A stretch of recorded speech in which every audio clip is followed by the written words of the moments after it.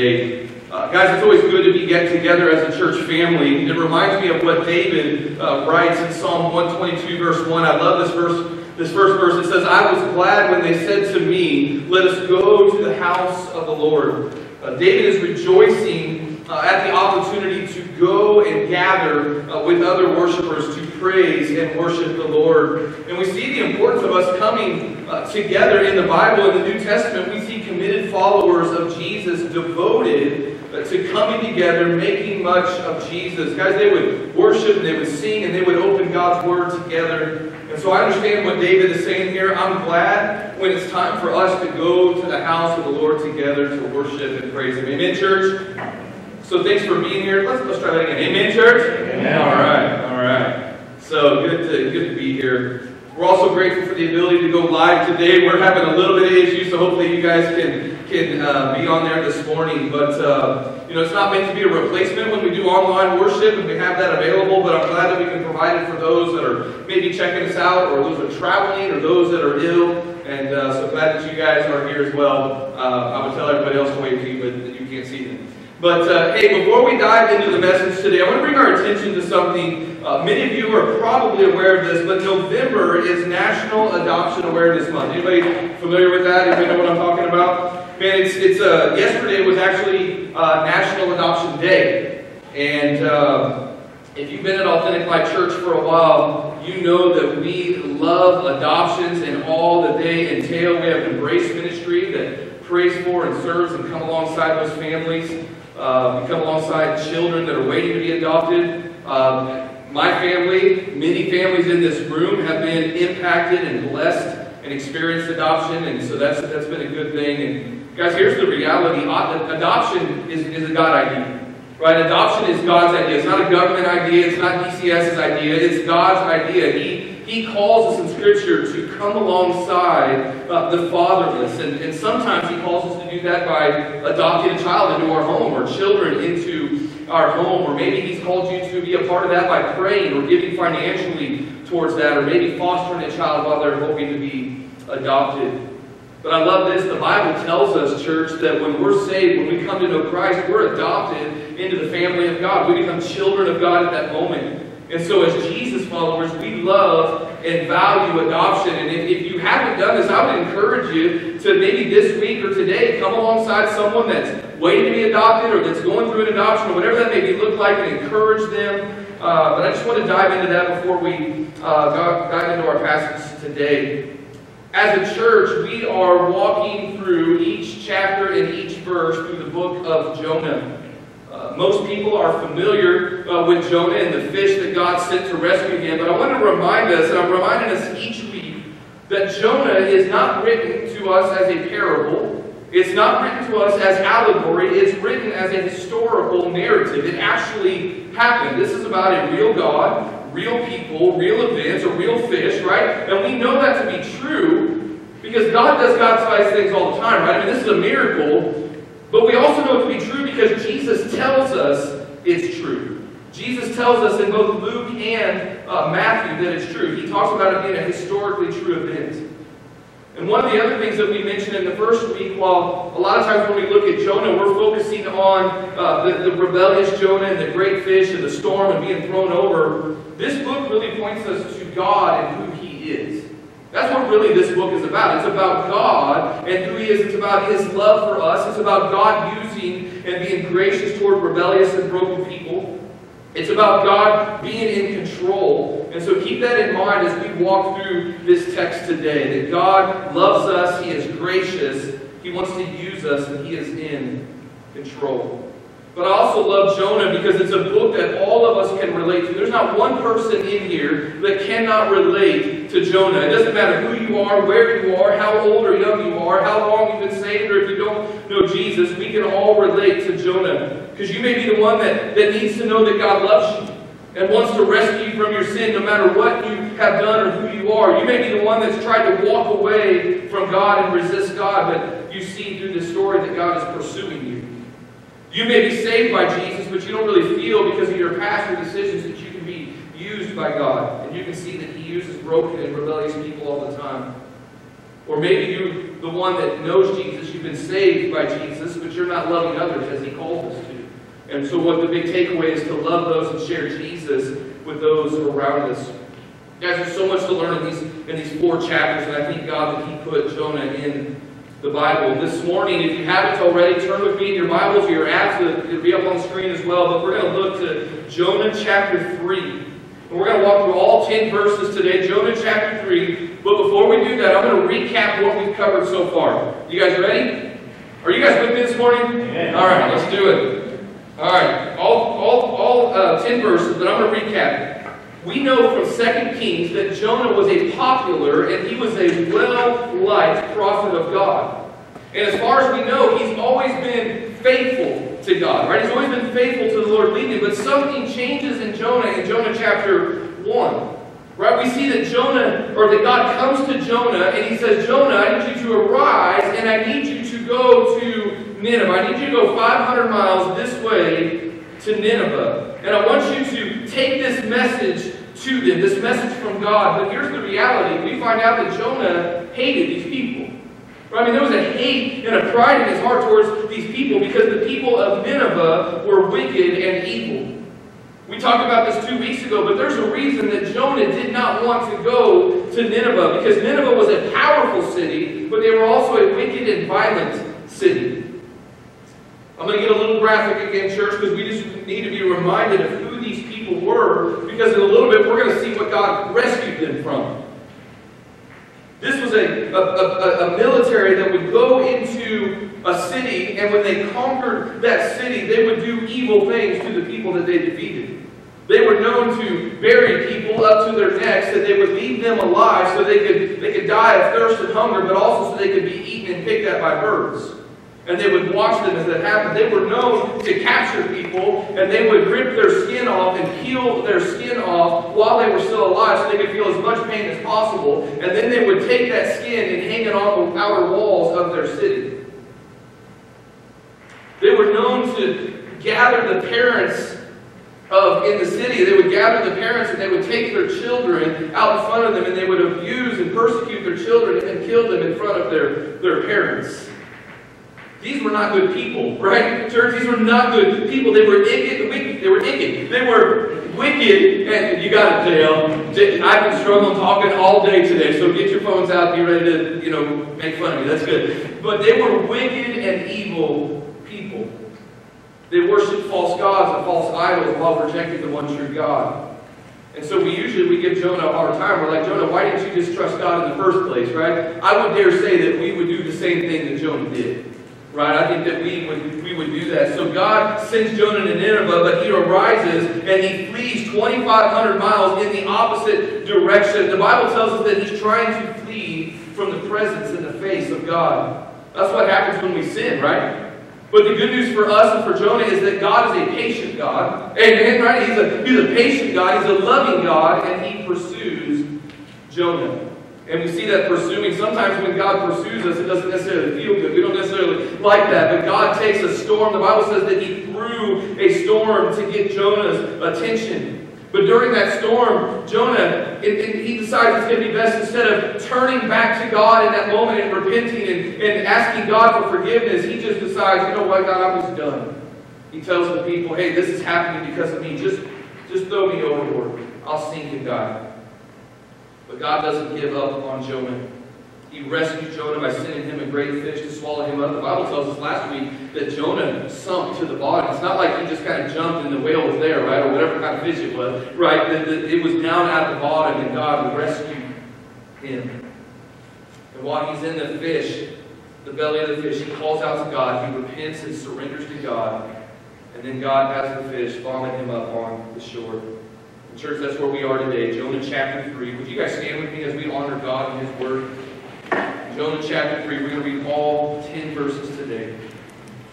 Here's what God's word says. Now the word of the Lord came to Jonah the second time, saying, Arise, go to Nineveh, the great city, and proclaim to it the proclamation which I am going to tell you. So Jonah arose and went to Nineveh according to the word of the Lord. Now Nineveh was an exceedingly great city, a three days' walk.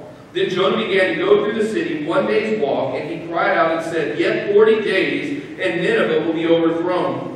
Then the people of Nineveh believed in God, and they called a fast and put on sackcloth from the greatest to the least of them. When the word reached the king of Nineveh, he arose from his throne, he laid aside his robe from him, covered himself with sackcloth, and sat on the ashes or the dust. He issued a proclamation and said this, In Nineveh, by the decree of the king and his nobles, do not let man, beast, herd, or flock taste a thing. Do not let them eat or drink water. But both man and beast must be covered with sackcloth, and let men call on God earnestly, that each man may turn from his wicked way and from the violence which is in his hands. Who knows, God may turn and relent and withdraw his burning anger, so that we will not perish. When God saw their deeds, that they turned from their wicked ways, then God relented concerning the calamity which he had declared he would bring upon them, and he did not do it. Father, we come to you today ready to hear from you. God, I pray, Lord, that every word that comes out of my mouth today will glorify you. But God, regardless of what I say, we pray, Lord, that you would be in charge, that our hearts would be ready to respond, our ears are ready to listen, and as we leave, our feet are ready to go and do as you call us to do. So, God, we pray, Lord, that you would remove the enemy. God, we pray, Lord, you would remove any distractions, and our attention would be on you today. In Jesus' name, and all God's people said, Amen. Amen. You be seated. All right, let's dive in. We titled the message today, Lessons from Nineveh.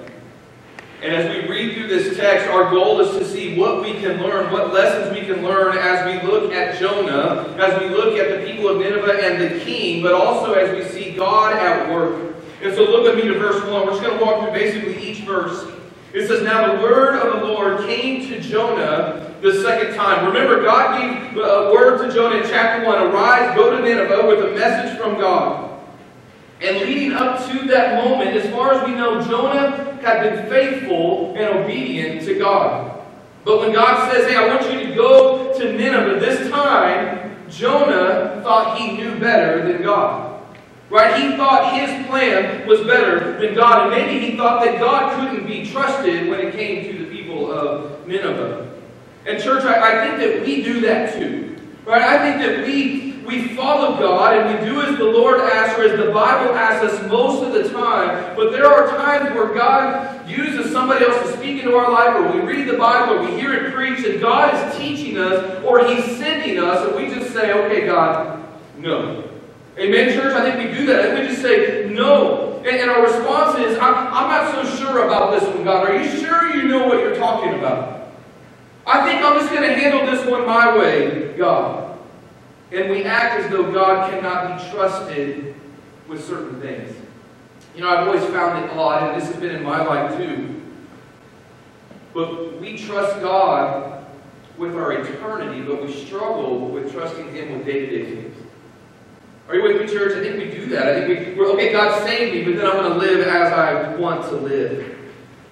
We often act as though God cannot be trusted, and we just say, God, I'm just going to do this my way. But when Jonah runs, God doesn't give up on him. He doesn't give up on the mission. God shows Jonah by pursuing him, by disciplining him, by rescuing him. He's showing Jonah, he says, Jonah, I love you. Right? My way is better. And what is best for you, Jonah, is to trust and obey me. And Jonah comes to that conclusion. I always find it funny, like when we read this, Jonah doesn't come to that conclusion until like he's you know, diving deep into the ocean, right, or into the sea. And that's when he comes to that conclusion in the belly of the fish. Jonah cried out to God. He repents. He turns to God and he surrenders to God. And now in verse 1 of chapter 3, God shows Jonah again. He says, I'm not giving up on you. I'm going to use you, Jonah. I need you to follow me. So here is the mission a second time. Here's what I need you to do a second time. Church, I can't tell you how many times I said amen to this. Trust me, I say amen to myself whenever I'm just like talking to myself in my office. My kids come in there sometimes and like, Daddy, who are you talking to? I'm just practicing my sermon, kids, right? And it, but aren't we grateful that God comes to us a second time? Right? That He comes to us maybe a third or fourth or tenth time when He calls us to do something, right? Church, I think when we look at Jonah, Jonah shows us that we can trust and obey God. Jonah, in what we see here, Jonah shows us in chapter 1, chapter 2, and chapter 3 that, that, that it is best when we trust and obey God.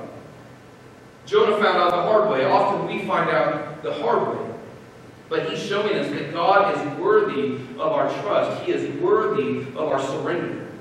Because he's a God of love. He's a God that is gracious. He's a God that gives second chances. In church, we also see that he is a God that is in control. I think this can be easy to overlook sometimes in this verse. We actually see that God is in control because even though Jonah had been disobedient and he tried to flee from God, check this out, the mission never changed. Right? The mission never changed. God doesn't say, well, you're right, Jonah. I messed up. I should have given you a different mission. Right? He doesn't say, man, oh, you know what? That mission was probably too hard for you, so let me give you an easier one this time. God shows that He's in control. The mission doesn't change. It remains the same. And that's good news for us, church. We can trust and obey God not only because He loves us and pursues us and is gracious to us, because He's God. He's a God that's always the same. You know, our culture takes huge shifts by depending on who we have in office. Amen, church? Like we just see that. We're like, okay, we got a new person. Our country's going to change for the next four years. But God is always the same. He's always right. That's hard to say, it? Like, God, you are always right and I'm not. He's always true, and church, He is always better. He's always in control, so we can trust and obey Him, and it's best when we trust and obey Him. But we also learn something else from Jonah. We see in chapter 1 and also here in chapter 3 that the Lord is not giving Jonah an easy assignment. Well, we can look at that and say, man, God, you're kind of, this is kind of a hard one. This is a, a tough one. He doesn't give him an easy assignment. He says, Arise, go to Nineveh, the great city, and proclaim to it the proclamation which I'm going to tell you. Jonah is being called by God to go to a city that's full of evil and wicked people. He's calling him to leave his home. He's calling him to travel hundreds of miles. He's asking Jonah to take a warning, but a message of, of mercy and grace to an enemy of Jonah and his people. Guys, it's one thing when God asks us to do something that we want to do. Well, that's easy, right? he, he does that, right? It's one thing when God asks us to do something that doesn't ask a lot of us. It's easy to follow and trust God and say yes to God when the risk is low. Amen? But God, He often calls us to a hard obedience. God often calls us to a hard obedience. He may be asking you to sell your home, to go overseas and to tell people about Jesus.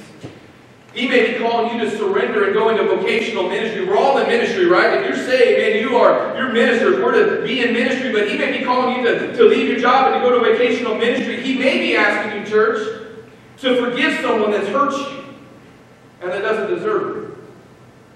He may be asking you to give more of your finances to advance the gospel. He may be asking you to do something hard.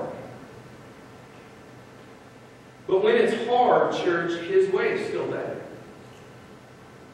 Even when it's hard, he's still right. He's still worthy of our trust and obedience. And even when it's hard, church, especially when it's hard, that's the best place to be, is in God's will. God may be calling you to something to obey Him in a way that is hard, or maybe you can say, man, I just don't like this God. But we can trust God because He loves you, He is gracious, and He's in control.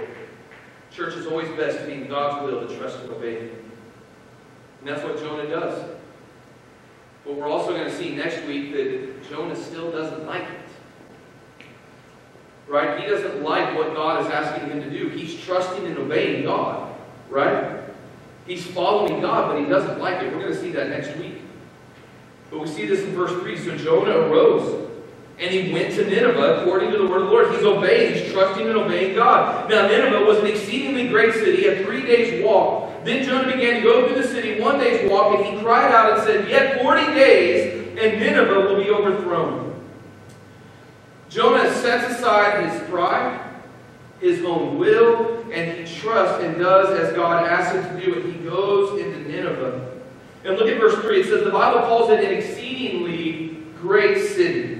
And at first glance, when we first read this, just using our English translation, we can see that it is a great city. It's a big city in size. It's great in power. Right? This is a leading city of the Assyrian Empire, very powerful city. They were a great city in numbers. Historians believe that at this point, there were somewhere around 600,000 people in the city. Now, that may not be big today, but at that time, that was huge. They were known for being great in other areas. They were known for being great in their sin and rebellion against God. They were known for being great in their violence and wickedness. But when you study the, the Hebrew language here and you just go a little bit deeper, God is actually telling us something deeper that we can't miss. When you study the literal translation the literal meaning here, the phrase literally, I like saying literally, can you tell? The phrase literally means, and it translates to a great city to God. Nineveh. And God says, This is a great city to me. To us, to Jonah, they were great for all the wrong reasons. Right? They're evil, they're, they're, they're, they're wicked. But to God, the Lord, the Lord sees them differently.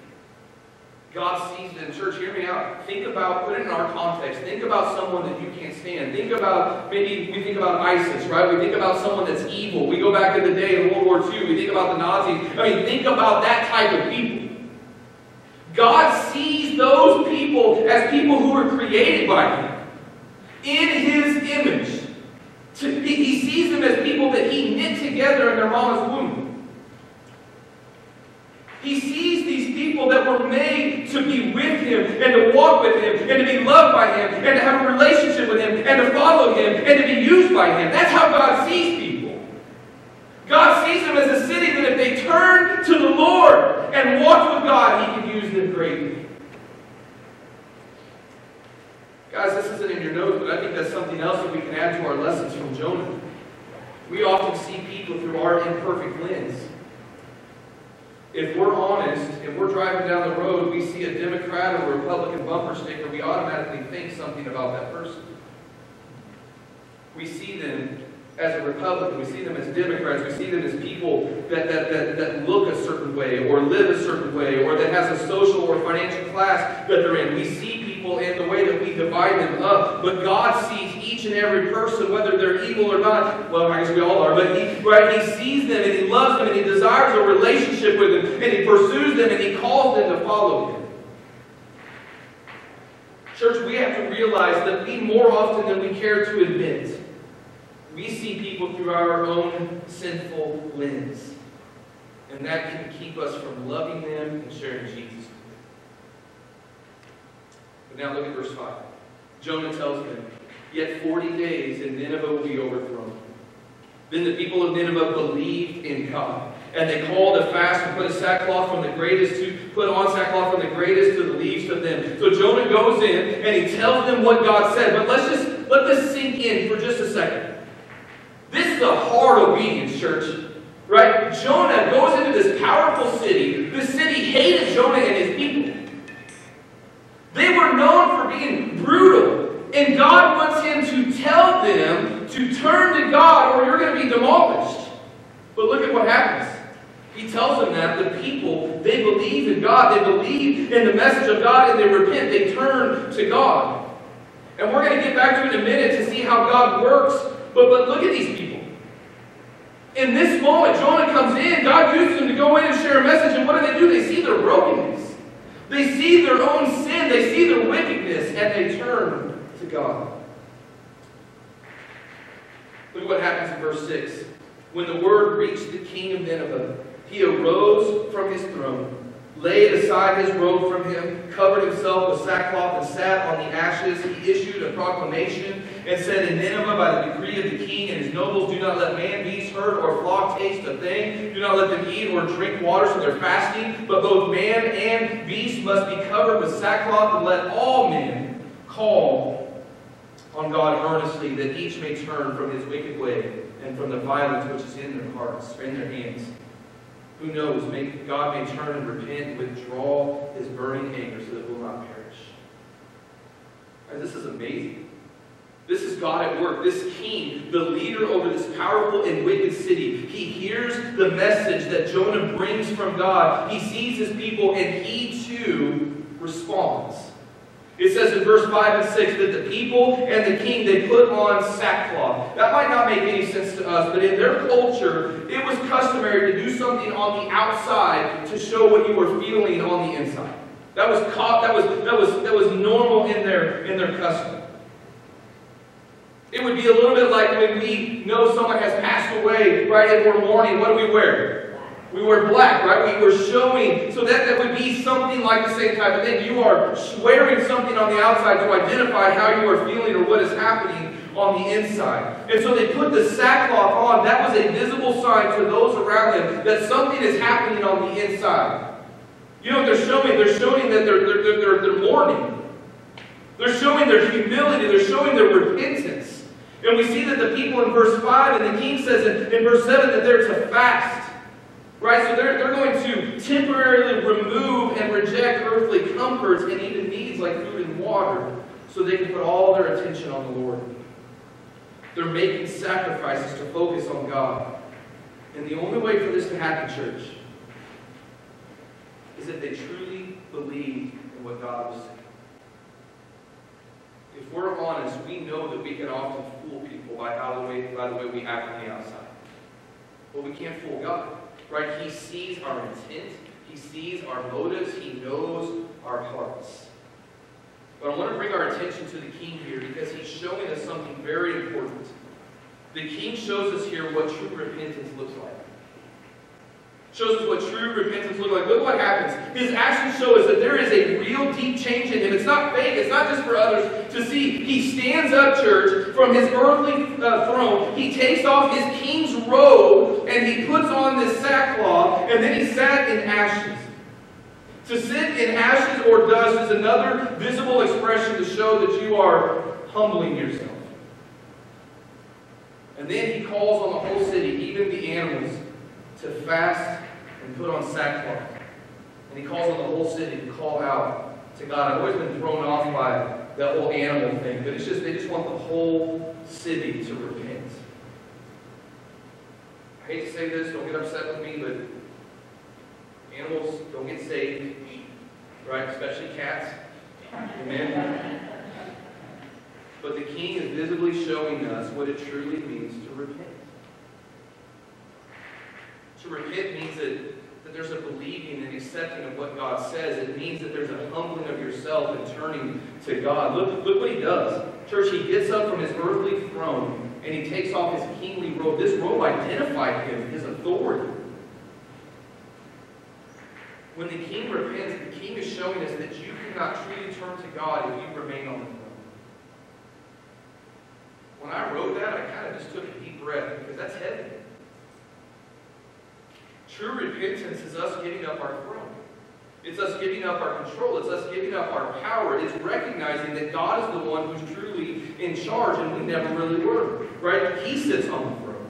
And in repentance, we're turning away from us. We're turning away from our sin and away from the world. We're turning to Him as Lord, as the one who's the boss and in control. The King is showing that He is giving up control and authority in His life. He's giving, he's giving up his, his pride and He's coming before the Creator God with humility.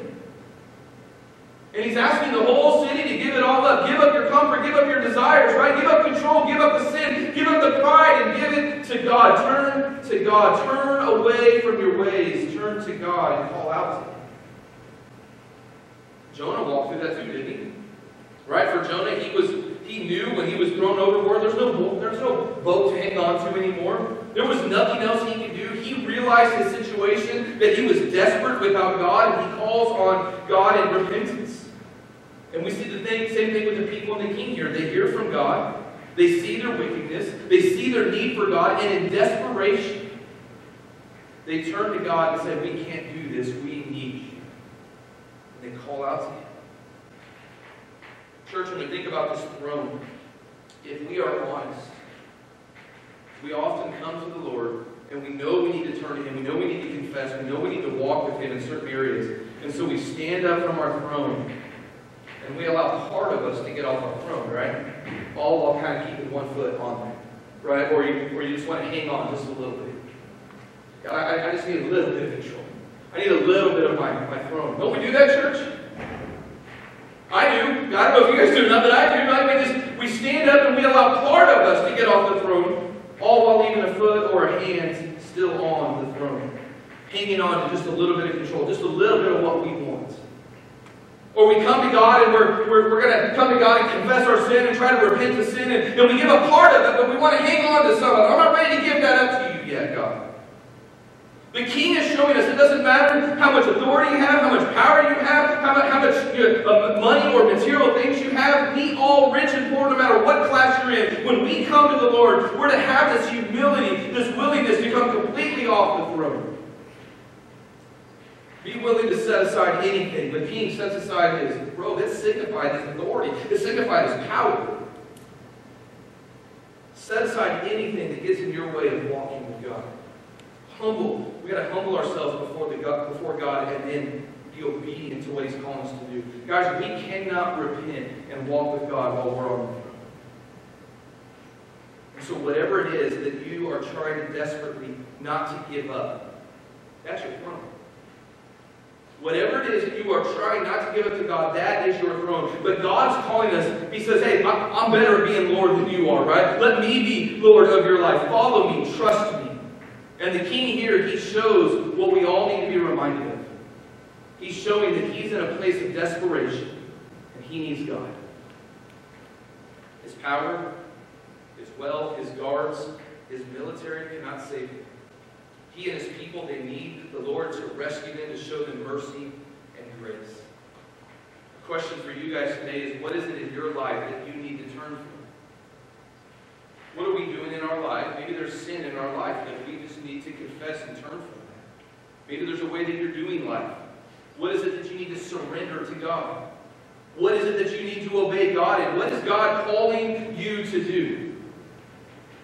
What sin do you repent of? God calls each and every one of us to rise from our throne, to set aside our robes and turn to Him. To believe in Him, to trust in Him, to humbly come before the true King. So Jonah shows us that it's best to trust and obey God even whenever it's hard. The king shows us what it means to have true repentance. Right? To believe in God and believe what he says, to obey and to humble ourselves before him, to get off our throne and to surrender all to him. But church, what was the message that led to this big revival? It was this. In fact, in, in, in the Hebrew language, it was just five words, but for us, yet 40 days and the Nineveh will be overthrown. The word overthrown means to be overthrown. It also means to be tumbled, destroyed, or demolished. Let me tell you what this word is. We're familiar with the, the Sodom and Gomorrah, and what happened to Sodom? It's the same word that God used there. God was going to demolish or allow them to be demolished. Yet 40 days, and Nineveh will be overthrown. There's a powerful reality there, church. This city, listen, this, city, they, they, they deserve to be destroyed. They deserve to be demolished. They deserve all that was coming their way. But even then, church, God showed them mercy and grace, and He allowed them 40 days. God could have poured His wrath out immediately on them because they deserved it but he gives them 40 days. I think about when I was a kid. I'm probably the only one that did this. But when I was a kid, my parents would want me to do something, I wouldn't do it until they started counting to 10. I'm not that gracious with my kids. They get three, man. You know, you get to count to three. But they would say, hey, I'm going to count to 10, and if this isn't done, then, right? Guys can finish that sentence. Or my dad would say, hey, I'm going to give you a week and your room better be cleaned up. Or I'm going to give you so many hours in the dishes or the, the mowing the yard. In Kansas City, they got this thing called grass and we mow it, right? So he would, he would say, hey, you, you, got, you got so many hours to get your chores done. And I would constantly catch myself waiting until the last few numbers. Kim didn't even care. She just let him get to 10. You know, she was the youngest child, got away with everything. Just want you to know that. Amen. All right? Anybody that's an older child knows what I'm talking about, right? But I would constantly catch myself waiting until the last few numbers. I waited until the last day to get my room clean. I waited until the last hour to get my chores done. But not this city. They hear the message, church, right? And they respond. They believe. They repented and they turn to God. What is it that you are hanging on to for just a little bit longer? What throne are you still sitting on? What are you still clinging to to have just a little bit more control before you give it to God? Or maybe you're here and you know there's sin in your life. You, you know you need the Lord. You know you need to turn to God. Church, I'm just going to say, I would love for you to follow the example of the king here and call out to the Lord to rescue you. Because this story isn't really any different than ours. The Bible says because of our sins, and guess what? We all have it. One sin, whether it's a little white lie or whether, you know, it's, it's a horrible thing like these, these people did here. One sin. One sin, church. Puts us in a desperate position. Lost, separated from God, spiritually dead, chained to that sin. Is the Lord calling you to repent and turn to Him and call on Jesus to save you and pour His grace on you? Before we close, look with me to verse 10. When God saw their deeds, that they turned from their wicked ways. Remember, God sees their heart. Turn from their wicked ways. Then God relented concerning the calamity which he had declared he would bring upon them, and he did not do it. Church, we learn a few things today. We learn from Jonah, we learn from the king, but what else is God teaching us? When we look at Jonah and the people of Nineveh and God, God teaches us to be faithful to him, church. God teaches us that no matter what, we need to be faithful to him. We can trust him. We need him. Right? We need to call out on Jesus. We need to be faithful in when it's easy and when it's hard. Church, when He calls us to do something, whether it's to come and follow me for the first time, or whether it is move across the country to go plant a church, or what you with me, church, like whatever it is that God is calling you to do, be faithful to that. I was talking to a church planter in, in Illinois this past week, and they're just struggling, having some hard times. And, and, and, and, and my just encouragement to them was be faithful. Let God do what God does. You do what you do. Be faithful. And when we're faithful, we see God teaches us to leave the results up to Him. Notice, Jonah didn't rescue these people. Jonah was just faithful to do what God told him to do. And God did the rest. God took this prideful, powerful, wicked, and evil city that was far from God, and He called them to repentance. He drew them to Himself. He changed their hearts and their ways and their actions. We're to be faithful to God and watch as God works in and through us, church. This should actually make us happy. You and I cannot save people. That's between them and God. You and I cannot change people. Politicians can't change people. Leave that up to God. But we've got to be faithful to do what God has called us to do. And last is this praise God. God teaches us that He is a God of mercy. We see it from the beginning that God showed Jonah mercy and came to him a second time. We see it with the king and, the people of Nineveh. They deserved nothing except the wrath of God and the penalty and the punishment that was coming their way. But God gave them mercy. You and I, the Bible says, church, we're no different than Nineveh, by the way. Right? We're no different than Jonah. The Bible says that because of our sin, the Bible says that we have earned death. That's what our sin has earned. You go to work and you work so many hours, you get so much money. Right? We wake up, we sin, we deserve physical, spiritual, and eternal death. But God, rich in mercy, came. Jesus came as God, Emmanuel, God with us, and He gave His life for us on the cross, and He made it possible. He rose again, He made it possible for us to be forgiven and to have a relationship with Him and have eternal life if we turn to Jesus. He's a God of mercy. Church, if you're here today, if you're online, I want you to hear me clearly. Jonah goes and he preaches this message to this evil city. And that's good news for us because no matter who you are or what you've done, no matter what sin is in your life, God loves you and He's pursuing you and He desires to save you. He desires to be your God. He desires so that when you die, you don't have to wonder, did I make it? You can't make it. When we die, we can know that we're going to spend eternity with Him because Jesus rescued us and saved us. So no matter what it is that you have done in your life, God is not done with you. He loves you and He wants to call you His son or daughter and you call on Him to save you. Church, God is a personal God. If you're saved today, God is a personal God, and He's right here leading us. God's active in our life. There is something God is calling us to do. Maybe you've been faithful to that, but maybe you're not. Maybe there's a sin in your life that you need to confess. Maybe there's a relationship within this church, within the family, your family, that, that you need to make right. Maybe God is asking you to surrender. Maybe He's asking you to give more. Maybe He's asking you to serve. Maybe He's asking you to go over and do missions. Maybe He's calling you to do something. You got to be obedient to that because we can trust Him. Father, we give you this time. God, I pray, Lord, God, I beg you. If there is someone listening online or someone here today that does not know Jesus, there's not been a time in their life that said, Jesus, I am a sinner. I need you to rescue me. I pray, Lord, today that you would draw them near to yourself. And I pray, God, that you would save them. Romans, the Bible tells us in Romans that whoever calls on the name of the Lord will be saved, rescued from their sins.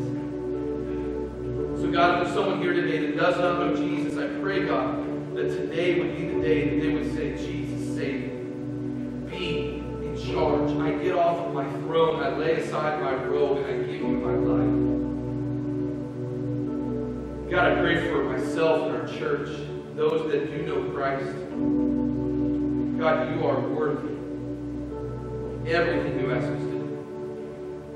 And God, if there is sin in our life, help us confess that to you. If there is something you are calling us to do or give up or surrender to, God, I pray, Lord, that would be obedient to that and not wait until we get to late to the 10 count. But God, that we would do it immediately.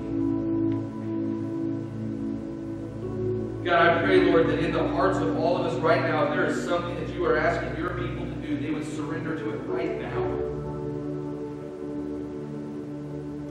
In Jesus' name, with your eyes still closed, spend time with God. What is God asking you to do? Is there sin in your life that you need to confess to God? Is there something that God is asking you to do that you have just not done? Take that Him. Let Him be Lord right now. Whatever it is. God, worthy. Today and you're saying this isn't for you. Maybe you're here today and you said, you know what? I thought God could never love me. But if He can love Nineveh, He can love me. I thought God would never forgive me, but if He could forgive Jonah and He could forgive Nineveh, He can forgive me. God, you can't use me, but if He can use Jonah, the one that ran from Him, and He can use Nineveh, He can use you.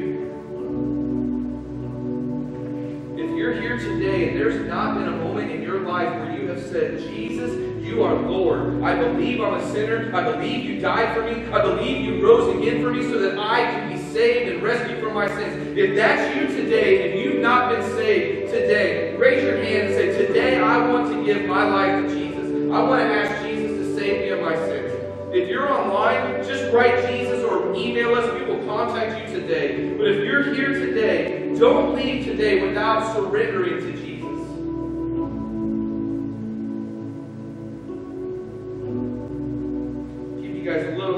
Spend with the Lord. If you're here today and you've not asked Jesus to save you, I'm not going to embarrass you. I'm not going to call you up. I'll connect with you after church. I just want you to slip your hand up and say, I want to know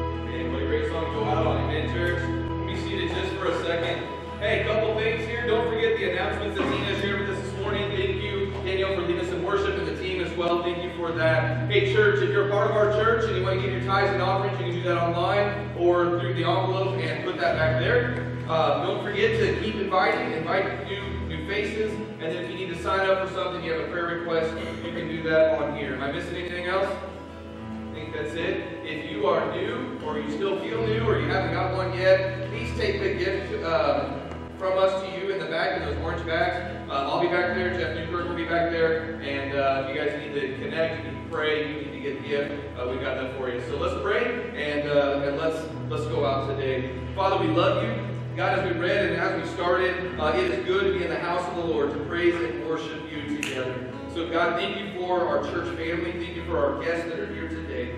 None of us are here by accident. God, thank you for those that are worshiping um, and connecting with us online today or in the future whenever they listen to that. God, we, we're just grateful. God, be with us as we walk out of here today and help us know that we can trust you. That it's always best to obey you because you are good, you are gracious. God, help us get off the throne, take off our robe, put our eyes on you, the one true King, the Lord, the one that one day every knee will bow to and every tongue will confess Jesus is Lord. God, continue to be at work in our church and in and through our lives. In Jesus' And all God's people. Amen. You're dismissed. Hey, church, if you're able to help tear down, we would greatly appreciate that. We're a little shy on help today, but have a great week.